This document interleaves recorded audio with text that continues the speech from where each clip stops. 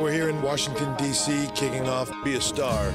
Be a Star is about anti bullying, and we're trying to spread the word that it's not cool to bully other kids. WWE stepping up and uh, really putting their power behind an anti-bullying campaign. Over 70% of kids today say that they're bullied, and it's something that needs to be stopped. WWE made a wonderful decision in creating this campaign. I was severely bullied in school. It's a great campaign that I feel very strongly about. Star is show tolerance and respect. We have to be tolerant of everyone's differences and respect them.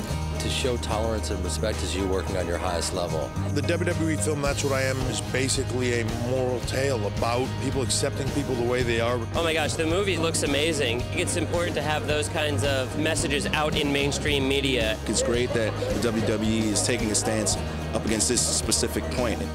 I really applaud WWE for what they're doing. That's what I am. It looks fantastic. This is a way to empower people, let them reach out and be a star. Be who you are because you're a star in your own right. Don't be a bully. Be a star. Be a star. Show tolerance. Show tolerance. Show tolerance and respect.